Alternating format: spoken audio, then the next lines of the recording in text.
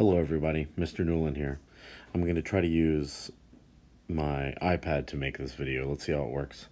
I want to see if I can find the safe speed formula for a car going around a banked curve with no friction on the surface. The velocity of the car is going to be into my screen, like that, that X representing the uh, feathers on the back of an arrow flying away from me. So the car is driving in a circle, the radius is that direction, little r.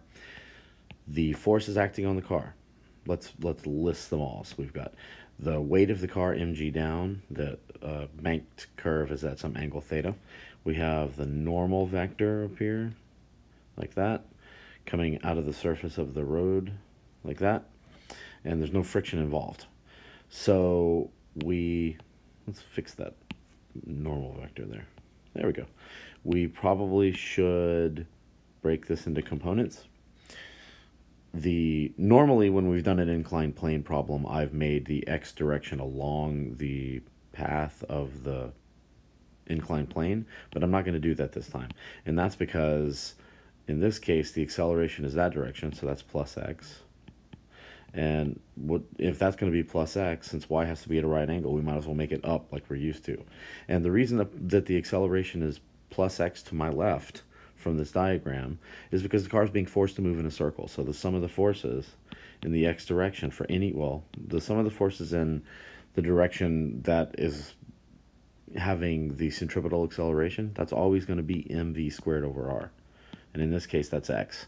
So what we're trying to find is the, the safe speed v so that the sum of the forces in the y direction is supposed to be zero. So there'll be no motion uh, up or down in the y direction and the only motion is due to the road surface itself. So this safe speed formula is supposed to work in such a way that even if friction were to fail in the case of a car's tires and the road surface, you're still going to actually not move and you're not slide up or slide down.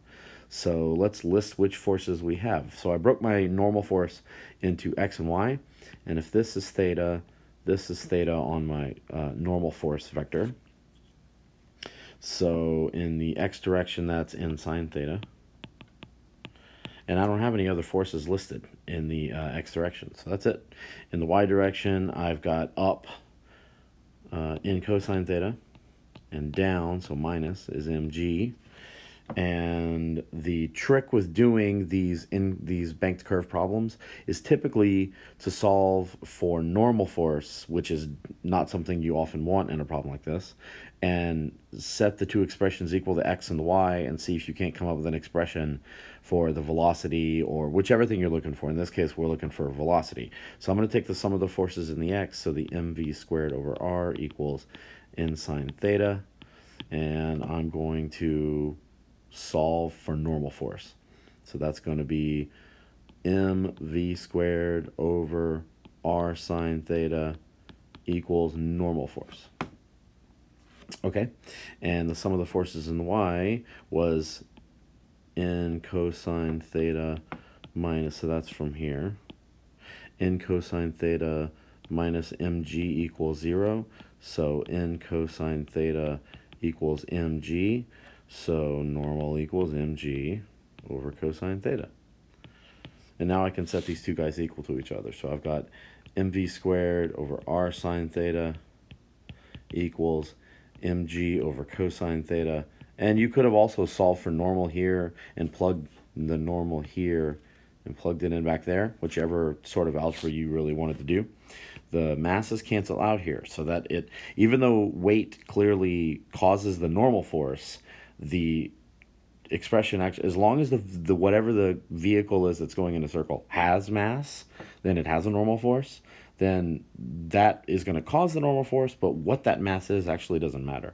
So our goal here was to solve for v so let's do some more algebra.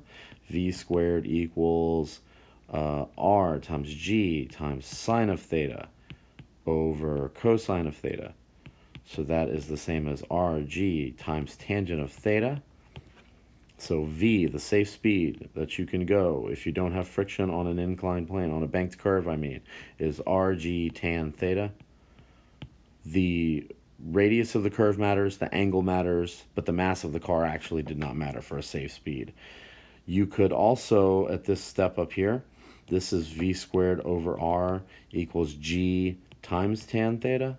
So you can describe your g forces from that expression, or you can find the velocity you would need to go from that expression. Um, and so we'll call this guy number one and number two. And from equation number one, you could figure out what forces the passenger or driver would feel as they went around a banked curve. So what are the g forces just from the banked curve itself? And in number two, you could figure out how fast the car needed to go either too fast or too slow, the, the correct speed, the safe speed, so that you don't slide up or down. All right, that's one of them done.